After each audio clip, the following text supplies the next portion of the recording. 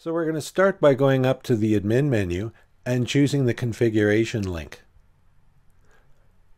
Under the area labeled Content Authoring, click on the link called Text Formats and Editors. And opposite Full HTML, you'll see a button labeled Configure. Give that a click.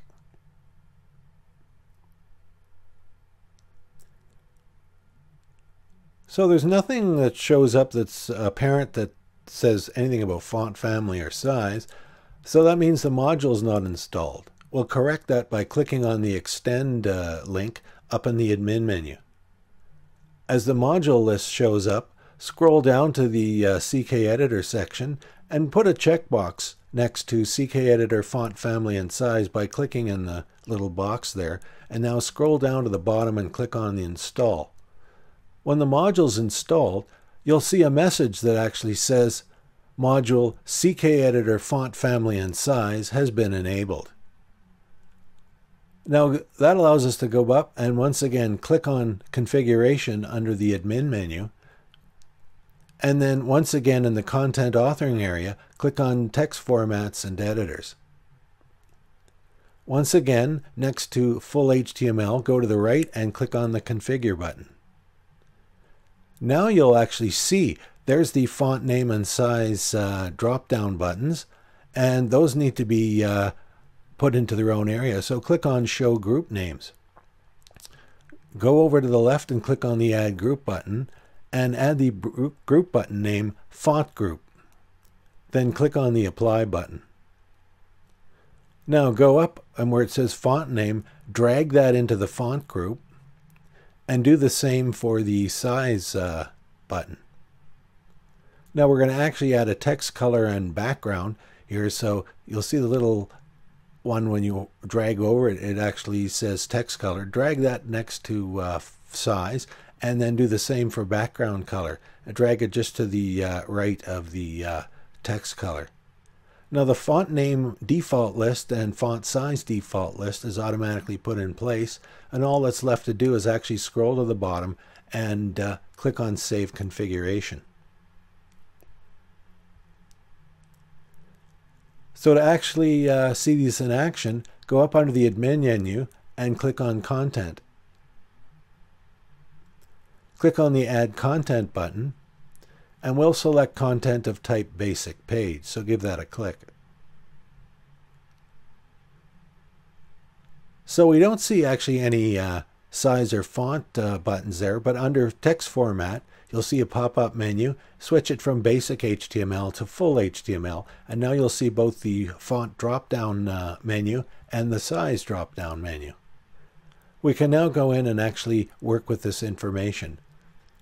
So we're actually going to uh, name the uh, content here. We'll call it font test. And we'll start by putting in the phrase testing.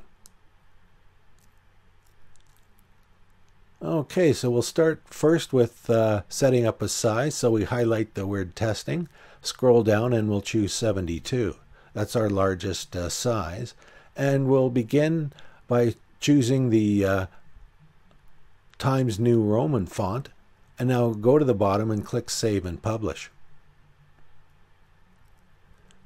So that essentially is the basics of installing uh, the font family and size uh, plugin.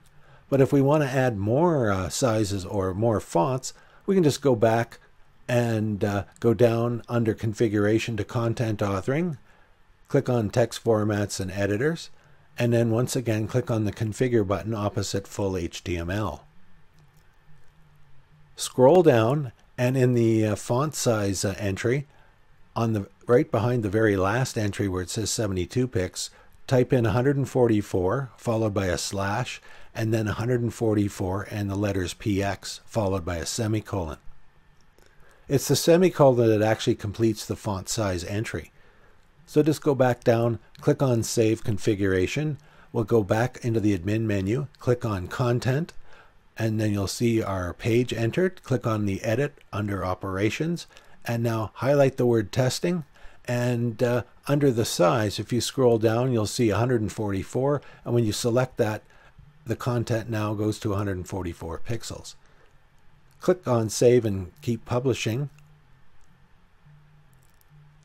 and that's in place. So that's the new size, but if we want to uh, add some more fonts, you can go back into text formats and editors, go back and cl click on the configure button opposite full HTML, and now after the last uh, entry, uh, we'll set the cursor in there by clicking on it, and we're going to put in Adobe's Peignot.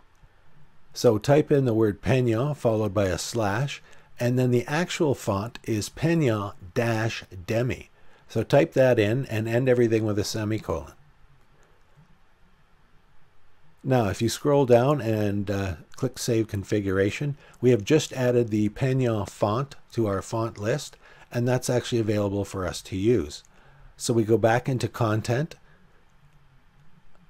click on the Edit operation, highlight the uh, text we entered, go to the Font menu, scroll to the bottom, and there's our Peignot entry, which is now active. And so click on Save and Keep Published, that's in place. And now if we click on the title font text, that actually links us to the page. And that's essentially it.